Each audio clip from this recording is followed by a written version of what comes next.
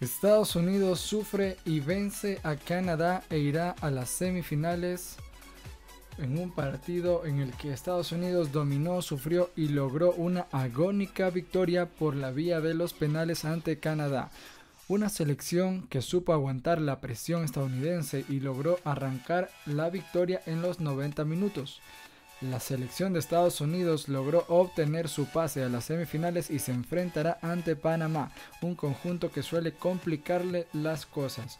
Los dirigidos por BJ Callaghan, siguen cumpliendo sus objetivos y ahora apuntan a jugar la final y cumplir con el sueño de conquistar la Copa Oro para firmar el anhelado doblete, luego de que el pasado mes ganó la CONCACAF Nations League.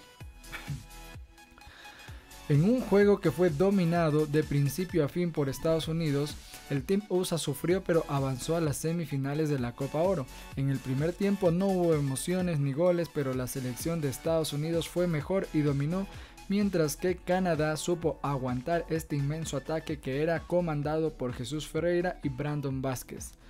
Fue hasta el minuto 88 en el que llegó el gol de Estados Unidos cuando Brandon Vázquez saltó y remató con la cabeza un centro de Jones. El gusto duró poco porque Estados Unidos y un error en la defensiva provocó un penal a favor de Canadá.